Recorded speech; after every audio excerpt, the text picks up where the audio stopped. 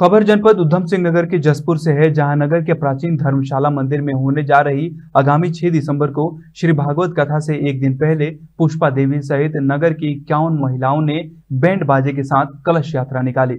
आपको बता दें कि यह कलश यात्रा प्राचीन धर्मशाला मंदिर से शुरू होकर कोतवाली के रास्ते होते हुए वापस धर्मशाला मंदिर परिसर पहुँची, जहाँ कलश यात्रा का समापन हुआ। इस दौरान श्रद्धालु विमन अग्रवाल ने बताया कि भागवत कथा एक सप्ताह तक चलेगी, जिसमें वृंदावन मथुरा से पधारे कृष्णा शरण महाराज द्वारा भगवत कृष्ण की अनेक लीलाओं के बारे में व्याख्यान किया जाएगा।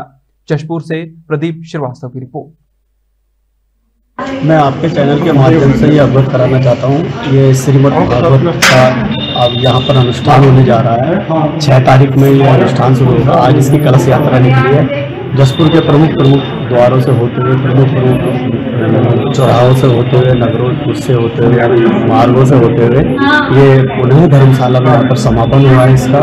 और कल को यहाँ पर श्रीमद भागवत गीता की पाठ शुरू हो जाएगा।